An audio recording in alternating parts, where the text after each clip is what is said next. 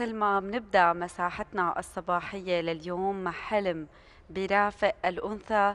منذ طفولتها لترتسم ملامح الأمومة الأولى بطريقة اعتنائها واحتضانها لألعابها حلم بيبدأ بمشاعر غريزية ليصير مع الوقت. هدف كل امرأة. واليوم ضمن فقرتنا الاجتماعية رح نسلط الضوء على الاستعداد سلمى لمرحلة الأمومة. أكيد سالي مع ضيفتنا الأخصائية الاجتماعية رندا علي ديب. رح ننتقل سوا عبر مراحل مختلفة بدءا من الأشهر الأولى للحمل وصولا إلى المشاكل المبكرة عند الأطفال الرضع. فأكيد خلينا نرحب فيها ونبلش أسئلتنا معي يسعد صباحك وأهلا وسهلا فيك صباح الخير صباح النور يسعد صباحك يسعد رندا. صباحك. أهلا وسهلا فيك بداية خلينا نحكي عن الأمومة. يعني دائما الأنثى هدفها من الزواج هو إنه تنجب أطفال وتعمل عائلة هذا الهدف الأسمى من الزواج. آه، قديش مهمة الأمومة وقديش الأنثى بتتحضر خلال فترة الحمل؟ وبتعتني بحالها خصوصي أول ولد يعني بيكون عندها تماما بيكون عندها هيك آه، شيء معين بقلبها أه تتحضر له. أه تفضلي خبرينا شوي. أه تمام. هلأ مثل ما حكيتي إنه هي بتكون هدف لها أو آه، حلم ووصلت له. آه، ولكن هي بتتفاجأ بشيء هي ما لا قدرانة تسيطر عليه. آه، هي مشاعر بحسب اختلافات كثير هي بتصير بجسمها. ممكن تروح نفسيتها شوي تكون في عندها شوية اكتئاب. ممكن جسمها يصير بعازة فيتامينات معينة نقص حديد. هدول كلهم بيكون إذا ما كانت مراقبتهم وكان اهتمامها الأول فيهم فهذا رح يعمل لها مشاكل أو أعراض نفسية أو بده ينخفض مزاجها. فهذا رح يصير في عندها خلط بمشاعرها بين هي هذا غير الخوف بالمسؤولية اللي هي بدها تتحملها. فهذا كله رح بيكون مختلط مع بعضه ومتعارض. حيخليها تغفل عن نقاط كثير مهمة اللي هي الأولى أنها تهتم فيها. فالهدف إنه نحن نوعيها إنه حاولي دائما ترفعي مزاجك دائما بيلجأوا الأمهات خصوصي الجداد انها تبلش تحضر غرفة البيبي. بتبلش مثلا بدها تشتري له ثيابه تحضر له أغراضه. فهذا بيعدل لها مزاجها أكيد وهو بنصح فيه. بس أنا بفضل إنه خصوصي بالأشهر الأولى تنتبه على كثير نقاط بتخص جسمها وبتخصها لها لأن هلأ هي ما عاد بس عم تهتم بنفسها صارت عم تهتم بشخصين. خصوصي من ناحية التغذية خصوصي تراقب دمها. إذا عم بيصير في انخفاض بالحديد ولا لا آه، الفيتامين د كيف عم بيكون عندها. لازم تتابع هالأمور البيئة اللي هي قاعدة فيها قد إيه، درجة التلوث فيها. هذا كله بيساعدها لأنه آه، بمرحلة الحمل التسع شهور نحن مقسمها على ثلاث مراحل مرحلة أولى وثانية وثالثة. كل خلل بأي مرحلة هو بيعطينا مؤشرات وبيعطينا آه، مشاكل آه، في حال كانت آه، الولادة لبعدين للطفل فهي حتعطي مؤشرات نعم. لغلط إنه كان بفترة الحمل. أكيد. يعني رندا أكيد هي تفاصيل كثيره نحن اليوم هيك عم ندخل معك شوي بالتفاصيل النفسية خلينا نقول. التفاصيل الاجتماعيه اللي بتقدر تحفز الست على تخطي هي المرحلة. كلياتنا بنعرف إنه في هرمونات بتتغير بجسم المرأة طبيعي مزاجها بيتغير. بس أكثر شيء يمكن بشجعها إنه بيقولوا لها إنه اهتمي لإنه هو بيسمع شو عم تقولي آه، بيفهم شو عم بتساوي. قد إيه هذا الشيء فعلا ممكن ينمي آه، خلينا نقول هي الصلة بين الأم والطفل لما بيكون جنين بهي المراحل الأولى. تمام. هلأ أغلب الدراسات بتقول إنه كل ما سمعتيه موسيقى كل ما هذا حينعكس على شخصيته بعدين. هلا اللي أنا حتى بشوفه من من آه، خلطتي مع أمهات وأطفال إنه الطفل اللي كان هو آه، ببطن مامته آه، كل ما كانت تحاوره تحكي معه تحكي تلامس حتى بطنه وهي عم تحكي معه شو شو صار معها اليوم تسمعوا لغات ثانية تمام. هذا بيساعد بالمراحل لبعدين إنه بنكتشف الطفل قدرته للتعلم اللغات الثانية هي أفضل. حتى تذوقه للموسيقى بيكون أفضل. في حسب نوع الموسيقى اللي هي بتسمعها ممكن تجي شوي تطبع شخصيته. هدول كلهم بيكونوا موجودين وبيخلقوا الاستعداد عند الطفل بالمستقبل ليتجه نقول هذا الطفل بيحب مثلا الموسيقى القوية هذا لا بيحب الهادي تمام.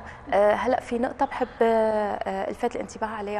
إنه دائما النصيحة للأم إنه وقت انت فترات حملك العبي رياضه لحتى آه، ما توقعي بمشاكل فترة الولادة. هلا أنا بنصح مو إنه مثلا أغلب اللي بنشوفه إنه هي ما بتكون ابدا بتعمل رياضة وقت حملها بتعمل. وما بتتحرك تماما فوقت حملها بتعمل خصوصي هذا ما آه هذا الشيء سيء بالفترات الأولى من الحمل لأنه لازم ما يكون في شيء إجهاد وإرهاق لها آه لازم دائما آه تكون في تمارين تعملها بالتدريج ما فورا تنقل يعني كلياتنا نحن ما فينا ننقل ما فورا تلعب ايروبيك أيوه. تماما. يعني رندا المشي يمكن هو كبداية بالحمل هو كثير بيقولوا إنه منيح يقال يعني. آه، خلينا نحكي حكينا على العادات الحلوة اللي الأم بتعملها لترتبط هي وجنينها ويكون هيك ريلاكس ومثلها أو مثلا ضايج مثل خلينا نحكي على الشغلات السلبية اللي الأم لازم تبتعد عنها مثل التدخين. خلينا نحكي عن التدخين أو خلينا نحكي عن الشغلات اللي بتأذي الجنين ببطن أمه. هي أول شيء التدخين اللي بيعمل نقص بالأكسجين الأكسجين طبعا عند الجنين. تفضل تماما. آه، وجودها ببيئة ما فيها أكسجين آه، نظيف أو ما فيها هواء متبدل. آه، مو شرط تكون هي اللي بتدخن. وجودها بمكان في حدا بيدخن. هذا كمان بيأثر. هذا التدخين السلبي كمان بيأثر. نعم. الكحول العادات السيئة اللي بتتبعها. نومها المتأخر لازم تنام تقريبا 8 ساعات. وخصوصي بالفترات الأولى بيكون جسمها بحاجة نوم كثير في منهم رندا هن لحالهم بي بي بيناموا كثير يعني بصير عندهم أفراط إيه أفراط بالنوم يعني ممكن مو بس مثل ما قلتي 8 ساعات أحيانا بتصل ل 12 ساعة بتضلها نعسانة الأم. هي بالفترات الأولى دائما بيكون في ميول لأنها نعم. تنام أكثر آه، بحكم التغييرات اللي عم بتصير معها وبحكم آه، كل النفسية اللي هي بتتعرض فهو حس بالمسؤوليه بيكون آه، هي بتكون عم تتخبط إنه هي في مسؤولية معينة عم تت... بدها تواجهها بعد فترة. آه، كل تفكيرها هي إنه وين إنه واو صار عندي بيبي بس نفس الوقت واو ما عاد فيني أطلع إمتى ما بدي. فهذا كله بخلي آه، غير جسمها التعبان وغير حاجتها ل... ل... للنوم. حيكون في عندها شيء جزء هو هروب لإنه حتى إنه خلص أنا هيك برتاح وبطل فكر. مع إنه بالعكس يعني لازم نحن قلنا إنه هي تتفاعل مع جنينها وتخليه يتفاعل مع العالم الخارجي. يعني ما تحبس حالها إنه أنا مثلا هي حتمر بكل المشاعر. حيكون حيكون مزاجها عم آه، يعني بانخفاض وبارتفاع. آه، لبين ما تعود على الفكرة. مثل ما بيصير فينا نحن أي شخص بيتعرض لموقف جديد أو لمسؤولية جديدة ممكن تغير له آه، روتين حياته. فهي أكيد رح بتمر بهذا الشيء.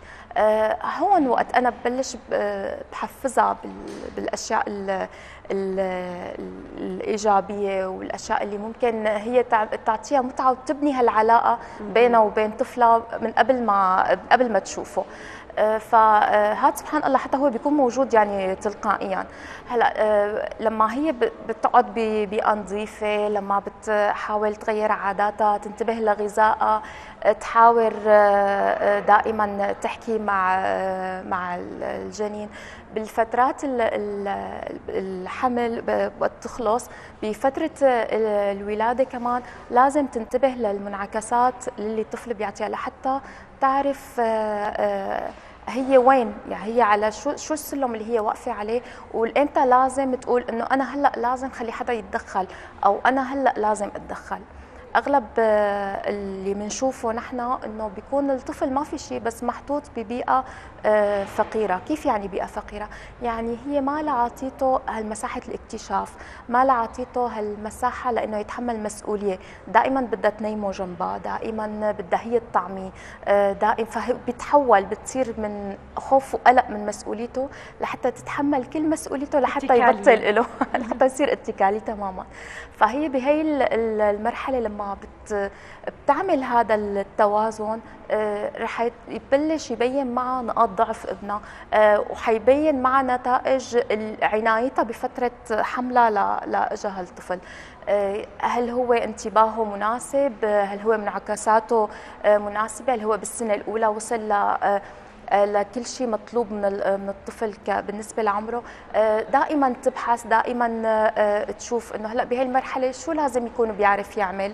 وتشوف قد إيه مأخر أو قد إيه متطور. ياما نحن بنطلع بأطفال كثير مميزين من من عمر صغير من من السنة من السنتين بتصير بنعرفه إنه هذا الطفل عم بيسبق عمره. فنحن فينا نوازن هذا الموضوع وفينا نكتشفه من عمر بكير بس عن طريق المراقبة لما بتكون الأم عم تراقب ابنها بشكل مناسب. نعم. آه، يعني خلينا نحكي عن آه، بعد ما تخلص مرحلة الحمل وتولد المرأة آه، كيف بتنتقل من مرحلة لمرحلة؟ بتكون في مرحلة مثل ما حكيتي إنه في كتير تخبطات أحيانا بنلاقيها عم تبكي أحيانا عم تضحك أحيانا عم تهرب وتنام. بس يولد الطفل بتحسيها عم تسهر الليل اختلف الموضوع عندها. خلينا نحكي عن هيدا المفارقة وشو لازم تعمل.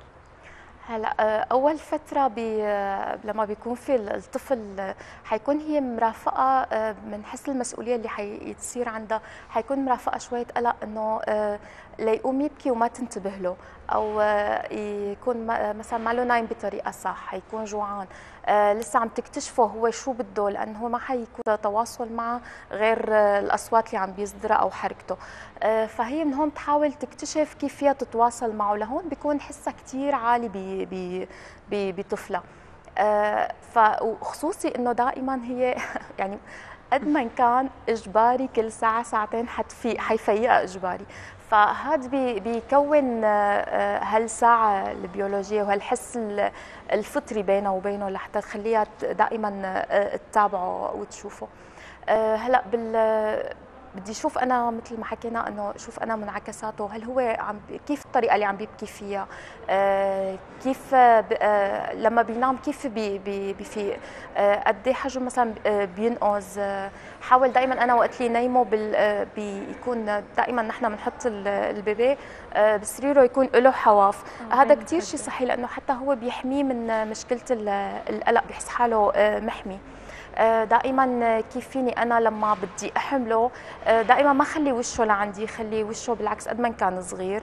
آه، أحطه بالعكس لحتى أعطيه هذا حس الأمان وحس الثقة بالنفس من من الأشهر ومن الأيام الأولى. هي عادات كثير بسيطة ولكنها هي كثير فعالة على المدى البعيد. لما أنا بحاول بالتدريج من أول أيام وجوده بالبيت أحاول بالتدريج أفصله عني ما يكون دائما لازق فيني كأم. هذا بيعطيه آه، استعداد لشخص استقلالي واثق من نفسه بالمراحل الثانية. وهو بالعكس حيريحها يعني لما حتخف حجم المسؤوليات عليها رح بيريحها لبعدين. يعني مثل ما قلت يمكن كثير هي تفاصيل صغيرة بس شوي مع الوقت بتصير عادة وهي العادة بتفرز هذا السلوك عند الطفل. بالختام شو بتحبي توجهي نصيحة أكيد لكل أم يمكن عم بتشوفنا وخصوصا هي تكون إما بالحمل أو بالفترة الأولى؟ أه بنصحهم مثل ما نصحنا خلال آه، حديثنا إنه تبعد عن أجواء التدخين أو الجو الملوث. تبعد عن الجو الملو... الملوث نفسي. يعني نصيحه تمام عن جد. تبعد عن الناس السلبيين. عن جد. وين بتحس في مشكلة أو في شيء ممكن يتغضى أو يزعجها تبعد عنه. آه، يعني خلص تاخذ بريك هالفترة الحمل كلها لأنه فعلا آه، هي المشاكل اللي ممكن تأثر على النفسية وهذا الضغط النفسي والستريس هذا كله بيخلي آه، مشاكل عند الطفل بال لبعدين. أكيد. يعني رندا دائما في مواضيع جديدة وكثير مهمة وعم تخص المرأة طبعا وبدنا نشكرك كثير على هيدي النصائح يلي قدمتيها. وإن شاء الله يا رب تكون قدرت قدروا يستفادوا منها جميع المشاهدين ويسعد صباحك. يسعد صباحك. شكرا, شكرا كثير لك شكرا, شكرا لك